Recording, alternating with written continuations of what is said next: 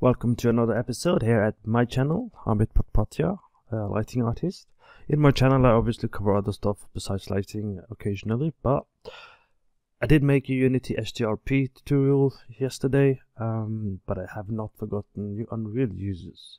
So I'm not going to go through a full tutorial, so what I'm doing, I use the sci-fi uh, scene that I downloaded for this example. what I want to show you is how you can create your own um, cube maps for your environment. There are several advantages of being able to do that. So we'll start by showing you. So you have an environment, right? And let's say for some reason you have a skylight. In this case, you need a skylight for this cube map. And uh, you need to have a reflection. And normally you would add a skylight and maybe you want to fill in darkness, maybe you want to make something brighter and you're you're doing this and you see you get these um, different things happening you might be playing around or you're like uh, you might not be happy maybe you go around and you see some uh, issues that's happening.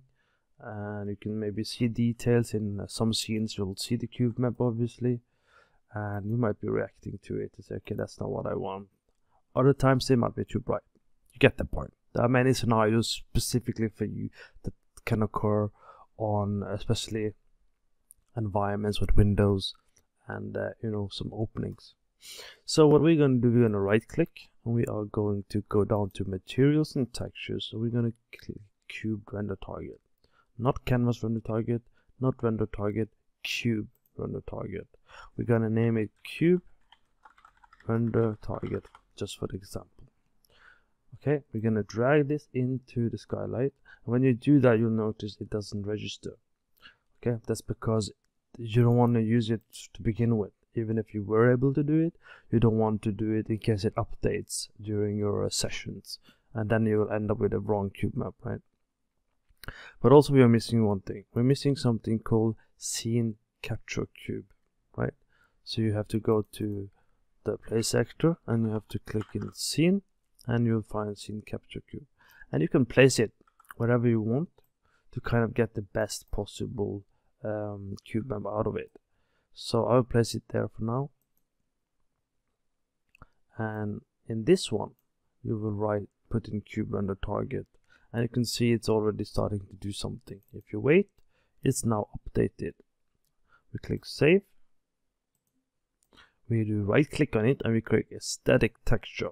This saves it right? This saves it from being uh, updated and um, some unexpected issues might arise as I said so now you can use this cube render target and you can see you actually get correct looking um, skylight type of cube effect going on to brighten up. So now you can for example you can brighten it up more and it won't be like too over lit so if I do 10 you know it's, it's okay. But if you did 10 on for example this one it has this blue look. It's starting to look weird. It doesn't work okay? So that's why uh, one example of why you want a cube render target to have that extra touch up for your environment and detail that is actually matching. Now to emphasize the example we could go and we can turn off the targets right? We can uh, actually just for the fun of it let's just delete all of it. And let's go to post process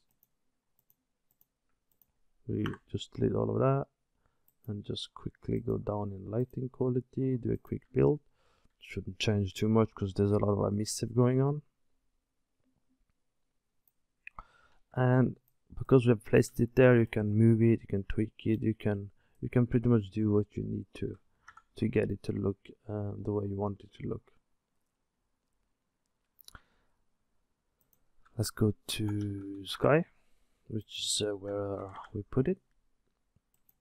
So now if I turn it on and off you can clearly see that it's still matching right? It's still matching with the environment. It's still matching with everything else that's going on. You can increase the cube resolution to get some more detail and you can do a lot. You can do middle you can do less.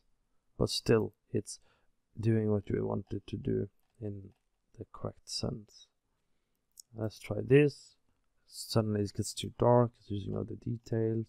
let's try this so you can see you have the necessary detail of course in some cases you will see the reflections and the cube map in other reflection again and it will have the the, the look you might want to go for so hopefully that was a very quick tutorial but hopefully it's useful so it's a good way of uh, solving your uh, skylight issue. If you don't have a skylight this also works for um, any case. You can have an outside scene and you maybe you're doing some lighting but you want to tweak the fill you want to fill in the darkness a little bit. This is a good way of doing it. So hopefully that's useful. Thank you for watching.